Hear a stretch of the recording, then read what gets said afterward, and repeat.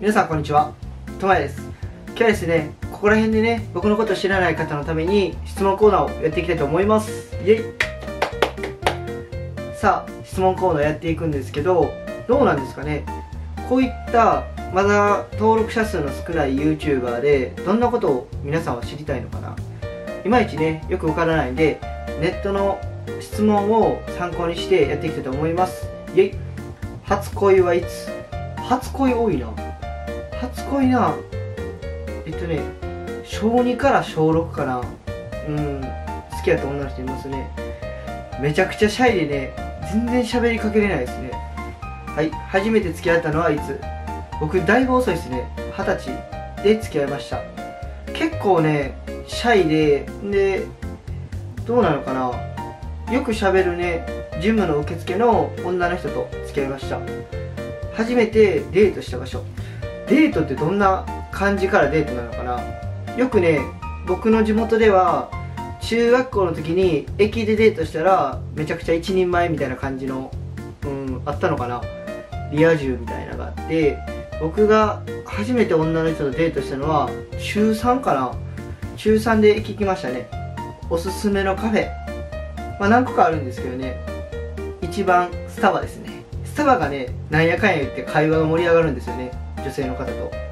好きなタイプ。気の強そうな女性が好きですね。あとわがままな人が好きです。はい。苦手なタイプか。苦手なタイプな。苦手なタイプの女性。うーん。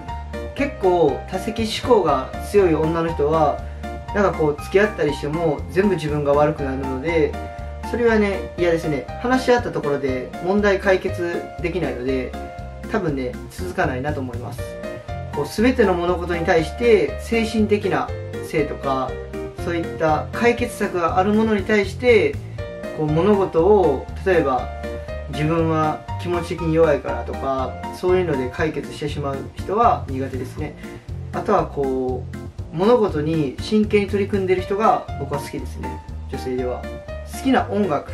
最近ねよく WXY の谷幸さんの歌聴いてます。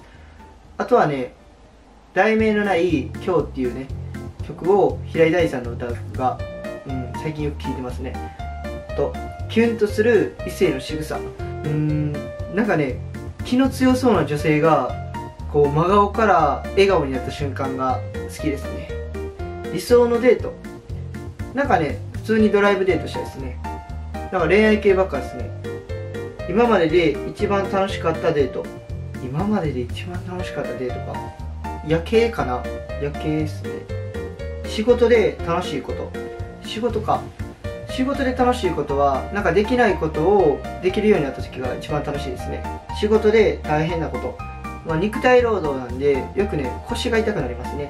将来の夢は YouTube でね今頑張って自分のビジネスを持つことが将来の夢ですね。そのために頑張ってます。行ってみたい国。ハワイ行ってみたいですね。グアムか。今一番欲しいもの。ロレックス。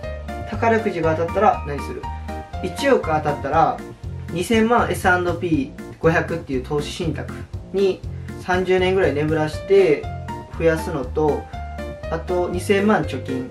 で1000万は時計買ってあと残り2000万は遊ぶ。で残り3000万は3000万はね YouTube とか将来こういったビジネスにつながるようなことをしたいですね。バーとかも一回やってみたいですね。自分がやるんじゃなくてこういったね誰かに任してやりたいですね。バーとかは。第一印象。最近ね第一印象怖いとか言われることが増えてきましたね。あとは20代後半に見えるっていうのはちょこちょこ女性の方はね特に言われますね。自分を動物に例えるならわからないです。タイムスリップできるなら過去と未来どっちに行きたい？僕は未来ですね。未来の自分がどういった姿になってるのかなと思って、うん、未来ですね。最近ハマってること。最近ハマってるのはゴルフですね。朝からビール飲みながらコース回るのが好きです。最近見た映画見てないんですよね。強いて言うならワンピースのシャンクスの映画見に行きたいですね。歌と。最近買った一番高いもの。AirPods Pro かな。休みの日は何してる？休みの日はジム行ったり本読んだりあとは YouTube 撮ったりお酒飲みに行ったりとかあとは友達とどっかドライブで出かけたりとかかな。それぐらいです。学生時代にやってた部活。学生時代にやってた部活か。野球部ですね。映画や本の世界に来るならどの作品がいい？ワイスピでめちゃくちゃこうハードな運転をしたいですね。生まれ変わるなら何になりたい？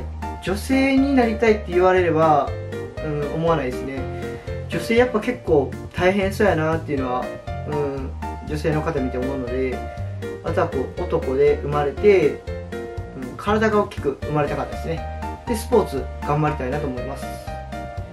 子供の時からの癖。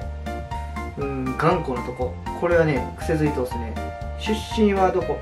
出身は兵庫県ですね。サンタクロースに頼むなら MacBook Pro 欲しいです。朝方夜型僕はね夜型ですね。結構昼まで寝てますね休みの日は。行ってみたい時代は特にないですね。春夏秋冬どれが好き？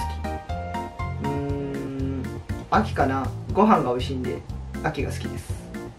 愛とお金どちらが大切？お金じゃないですか。お金がなかったらね愛は消えていくかなっていうのは僕の、うん、意見ですね。例えば僕が職を失ってこういったホームレス生活をした時についてきてくれる女性って何人おるのかなっていうのは思いますね。まあこれは結構極論なんですけどホームレスの経験がね18の時あるので、まあ、極論を言うとそうなのかなと思います。あなたのヒーローは誰？YouTube やと朝倉未来さんが好きですね。格闘家で。めちゃくちゃファンでねメイウェザーとの試合を楽しみにしてます。そんな感じで質問コーナー終わりたいと思いますんでよかったらチャンネル登録コメントグッドボタンよろしくお願いします。まだ知りたいこととかあったらコメントの方に書いてください。そんな感じで終わりたいと思います。バイバイ。